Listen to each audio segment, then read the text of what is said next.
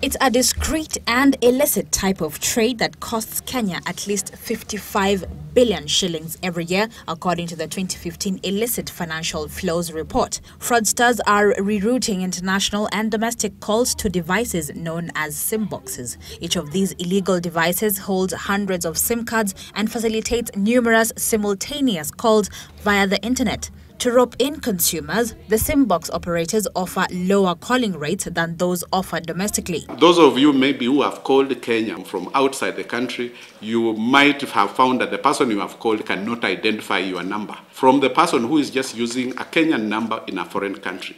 What illegal telcos pocket is the difference between the local calling rates and that of international termination calls. All this without the knowledge of the mobile service provider or the consumer. You can imagine if somebody has a thousand lines, um, he can be able to transfer 10 million, which really uh, could be a very uh, good avenue for money laundering in the country. Police are holding one suspect who was found in this Lavington house Wednesday with several SIM boxes and 5,827 SIM cards. There were slightly over 3,000 Telkom Orange SIM cards, nearly 2,700 Airtel SIM cards, 52 yu branded SIM cards, and 80 Safaricom SIM cards. The arrest has now raised questions over the effectiveness of SIM card registration rules introduced in 2012.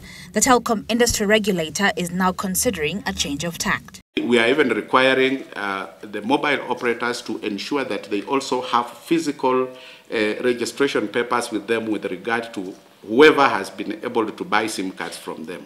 Mobile phone service providers in the country will also be required to procure SIM box detection tools and disconnect any SIM cards found to be suspicious. Bella Genga, Citizen Live at 9.